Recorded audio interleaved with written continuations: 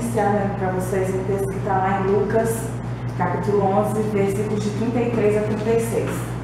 Diz assim: Ninguém acende uma candeia e a coloca em lugar onde fica escondido ou debaixo de uma vasilha.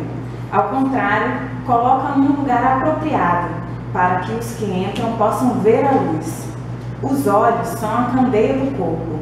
Quando seus olhos forem bons, igualmente todo o seu corpo estará cheio de luz. Mas quando forem maus, igualmente o seu corpo estará cheio de trevas. Portanto, cuidado para que a luz no seu interior não sejam trevas. Logo, se todo o seu corpo estiver cheio de luz e nenhuma parte dele estiver em trevas, estará completamente iluminado, como quando a luz de uma candeia brilha sobre você. Queridos, nos dias de Jesus, as pessoas tinham esse costume né, de utilizar pequenas candeias feitas de barro e era, elas eram assim, utilizadas, o combustível dela era o óleo, né, que na maioria das vezes era o azeite que eles utilizavam. E é, no decorrer do estudo da palavra de Deus, a gente pode ver que isso é sempre citado, né? Como lá quando diz na parábola das dez virgens, existiam as cinco imprudentes e as cinco prudentes, né? As cinco prudentes, o que, que elas fizeram? Elas guardavam, elas guardaram mais azeite, porque para garantir que as candeias delas estariam acesas na hora que o noivo chegasse.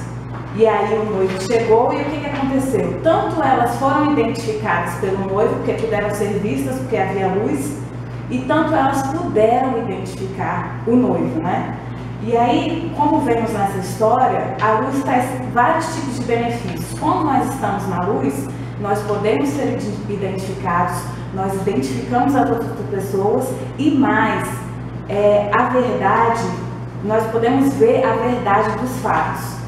Porque lá em Lucas 8,17 diz assim: Nada pode ser oculto ou escondido onde onde há a luz, né? porque a luz ela permite que todos nós possamos ver. Então a luz, na verdade, ela traz, ela traz a visão para a gente, ela faz com que nós consigamos enxergar. Aí lá em João 8, 31 e 32 diz assim: Se vocês permanecerem firmes na minha palavra, verdadeiramente serão meus discípulos e conhecerão a verdade, e essa verdade vos libertará. João 14,6 diz assim: Respondeu Jesus: Eu sou o caminho, a verdade e a vida. Ninguém vem ao Pai a não ser por mim. Queridos, essa verdade é, Jesus. Se realmente permanecermos firmes na Sua palavra, seremos seus discípulos, o conheceremos, seremos transformados por Ele e assim verdadeiramente seremos libertos. Porque só há uma forma de chegar ao Pai, e é através de Jesus, que é o caminho, a verdade e a vida. Lá em Mateus 5,14 também diz que vocês são a luz do mundo, quer dizer, nós somos a luz do mundo.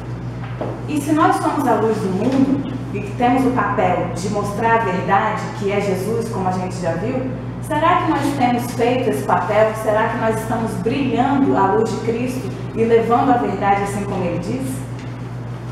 É, essa semana eu tive a oportunidade de participar bem de perto das manifestações, né? Nós sabemos que o mundo inteiro está, é, é, o mundo inteiro não, na verdade o Brasil, ele está, grandes multidões têm saído às ruas, né, para protestar a favor do que eles acreditam, né, que seja correto. E nesse momento que eu passei assim bastante próximo da, da, do povo ali no meio da manifestação, o que, que eu pude observar?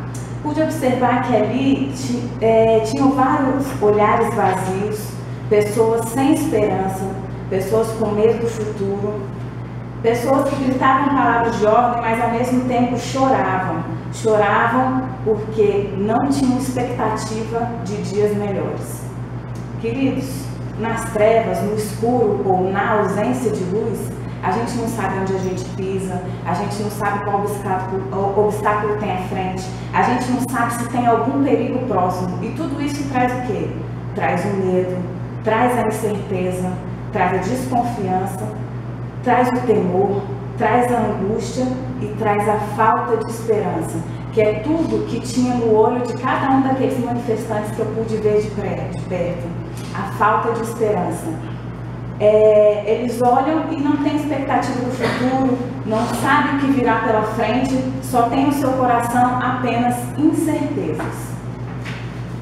Agora, já nós, queridos, apesar das circunstâncias, nós temos esperança. Nós temos esperança porque a nossa esperança não está firmada em homens, não está firmada no governo, nossa esperança está firmada no Senhor. E por isso, nós não precisamos temer o futuro. Assim como diz lá em Mateus 6,31. Portanto, não se preocupem dizendo o que vamos comer, o que vamos beber, o que vamos vestir, pois os pagãos é quem correm atrás dessas coisas. Mas o Pai Celestial sabe que vocês precisam delas. Busquem, pois, em primeiro lugar o reino de Deus e a sua justiça, e todas essas coisas lhes serão acrescentadas. Deus também diz que nós não precisamos viver ansiosos por nada. Por quê? Lá em Filipenses 4,6 diz assim: Não andeis ansiosos por coisa alguma.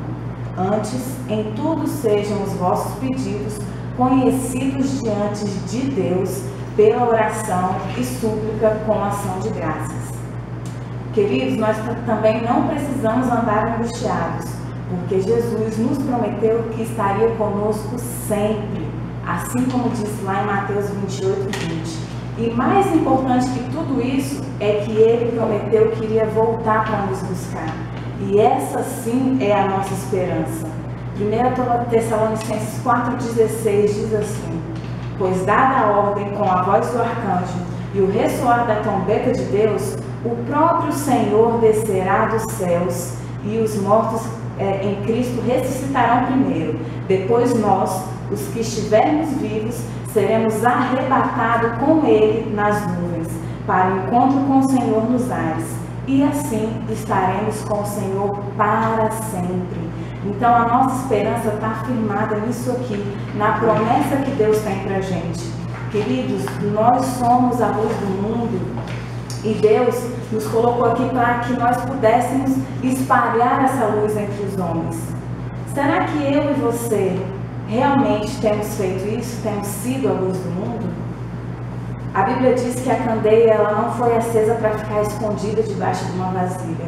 Então isso quer dizer, eu e você também não fomos feitos para ficar escondido dentro da igreja, eu e você não fomos feitos para ficar escondido dentro do trabalho, ou dentro da escola, ou dentro da faculdade, onde quer que nós formos, nós precisamos brilhar a luz de Cristo e levar essa esperança para as outras pessoas.